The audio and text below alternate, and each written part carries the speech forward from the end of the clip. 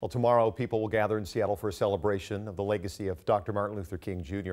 Dozens of groups come together to organize this annual event. Joining me now is Eddie Rye Jr., co-founder of the Martin Luther King Celebration Committee. I want to thank you for coming in on a weekend and thank you very much talking about about this. So let's talk about the history of this celebration. What can you tell us?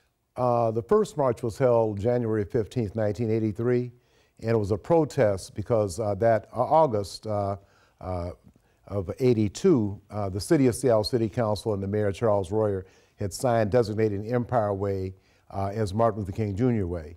Uh, after, shortly after they signed that, a group of people filed a lawsuit, and it ended up going through courts, and it ended up in, in Washington State Supreme Court.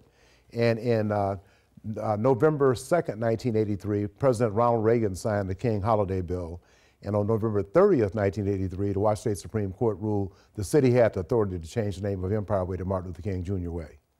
Got a little history here. Yes, indeed. Let's walk through tomorrow's uh, celebration. What, I don't know how you are characterizing it, but what's going to take place for people who are either uh, who, who, might want to come down? Uh, quite a few things. We've in, uh, instituted a career and opportunity day that starts at 8:30.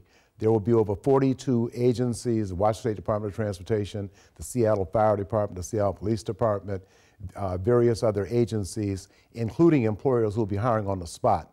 In addition to that, the Seattle Urban League and Neighborhood House will host a resume bank. Because right now a lot of employers you have to email your resume. And if we have employers at the event we want our people uh, empowered to go around and submit their resume as my understanding over 200 people came through last year and a significant number of jobs. The apprenticeship program representatives, the regional carpenters will be there. Uh, so we thought like three years ago, it's a lot more organized this year. Thankful for these four women that stepped up to the plate and organized it, and I want to give them a shout out. Uh, but we thought, you know, it's good to have that. remember Dr. King and President Trump has given us more reason to get more engaged. But we want to give people some hope on Tuesday when they woke up. As opposed, we remember the dream, we had to march, we came back and ate Ezell's fried chicken, and now tomorrow, what are we going to do?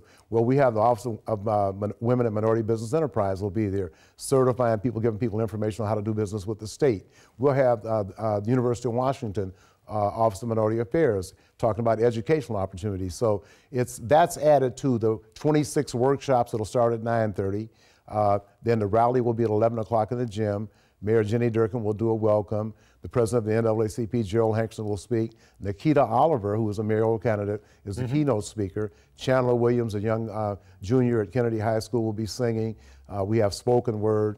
And then at about 1230, uh, the rally, uh, the march will take place, and this year the march will leave Garfield and go down to Westlake Mall. And we know the weather's going to be pretty good. Uh, what kind of crowds you guys expecting? Do you have any idea? You know, I think that uh, uh, 45 has kind of juiced things up, so I really think that we're going to see a lot more people than we would normally see. How important? I mean, because these celebrations happen all over the country, is there is there a statement you think needs to be made this year, given some of the political climate in this country right now?